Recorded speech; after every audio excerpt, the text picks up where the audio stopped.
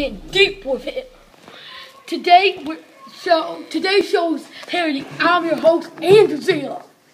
Here, I'm here with my best friend, Jason. How you doing, Jason? I'm doing great. How about you? First, what does DNA stand for? Uh, dioxynucleic acid. Good. Next, what is a dominant trait? Treat them as another trait. What is a recessive trait? Um, it is a hidden trait. Yep. Next, heredity. Uh, passing down of traits from parents to offspring. Yes, and finally, genes. They are stored in the chromosomes.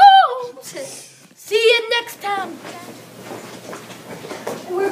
I'm Nick, and I was your cameraman and director.